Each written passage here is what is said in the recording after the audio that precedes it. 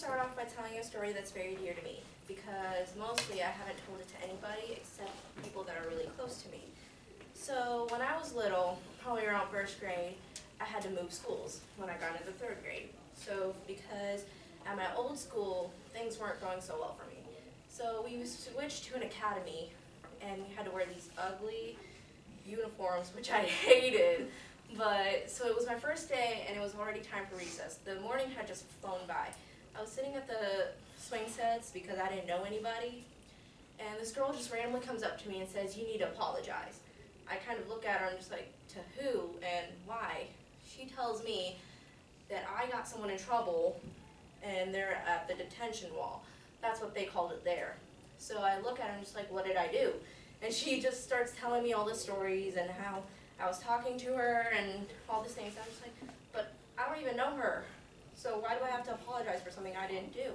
And she's like, well, it's your decision. You can apologize or you can just leave it. So I chose not to apologize because I don't want to apologize for something that I didn't do.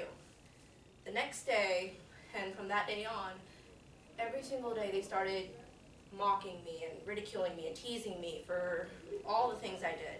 Whether it was what I wore, which was the same thing that they wore, or what I said, what I did, and it kind of hurt me because I didn't know how to respond to it. Until seventh grade. Seventh grade, I was standing by the bus stop, and this mom comes up to me. I don't even know her. She comes up to me and she starts yelling at me and cussing me out and saying all these things, and I just kind of look at her, and she tells me, You've been bullying my daughter. Ever since you came here, she hasn't been eating. She's lost weight because of you. I can put you in a mental asylum. I know the mayor. You don't belong here. And keep in mind that she was the same race as me.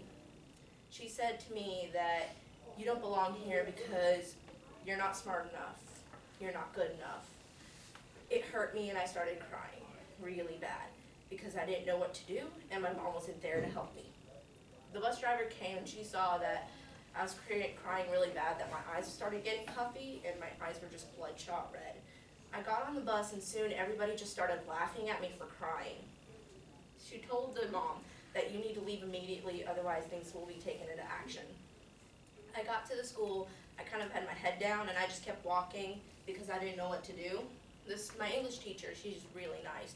She stopped me and asked me what's wrong. I wasn't so sure I'm telling her, but then again, I kind of thought that maybe I should. So I told her, and things were taken into action afterwards. Going through this from first to seventh grade, it made me realize that I was a victim of bullying, and it made me rethink my values and belief on how I should help others. Many people don't realize it, but bullying is a serious issue. If bullying was like, bullying is different because when you're positively teasing someone, you can you know that they're positively teasing you because they're smiling and they're not looking hurt at all. But it turns into bullying when the person you're, you're teasing is crying in the end. And that's not okay. Many parents will say, it's fine, this is not a big issue. The, my student has amazing grades, is smiling all the time, but that's not the case. Study shows that people of bullying can go through many mental problems, have, can go through self-harm, can do many other things that you wouldn't dream of. And in the end, they might just hide a smile. They can also go through anxiety, depression, and many other things.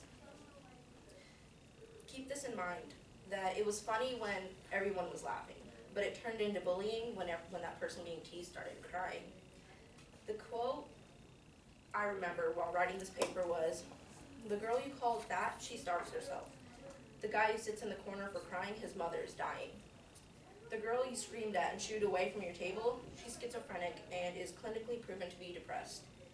The girl you called ugly has no family and spends hours doing her makeup and someone to finally like her. It just shows that there are different forms of bullying, whether you realize it or not, and you just have to take action in the end. Imagine yourself walking into a new school and you just get made fun of for something you don't do right. It hurts in the end. What if instead of all the mockery, hate, and mockery and hate, humanity started taking place? Do you think anything will change? Because I do. Bringing humanity can can change a lot of things because everyone would be happier and it would be a healthier environment, not only for the student but also for the teachers. What teachers can do is set ground rules and reinforce them. Students can start by simply saying hi to someone that you don't normally talk to, or just simply going up to them and starting a conversation. You don't necessarily have to ignore them.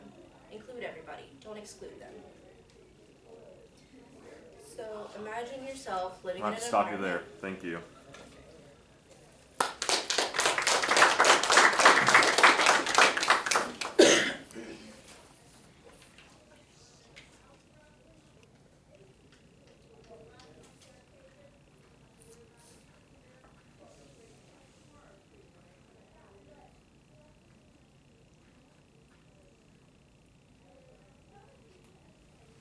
You highlighted several things, you know, that kind of highlights these you know, different types of bullying. But you know, as a teacher, I don't see bullying that much, so it's definitely I don't think it's a problem in schools. What would you say to that? I would say that you might not see it, but it's there. You just can't see it because many of the people that are bullying, they don't really stand up to them. They don't stand up for themselves, and they don't really say anything about it. And they don't say anything because they think that they're probably gonna get like ridiculed for it again, or things won't be taken into action, or no one will do anything. And probably because many people who have spoken up, nothing was done. So that's why they might not say anything for it. Do you think that bullying is worse now than it was like 20 or 30 years ago? Well, not as bad because back then I think because of the whole racial thing, it was also really bad. But now it's just kind of just for fun. All right, we're gonna have to move on. Thank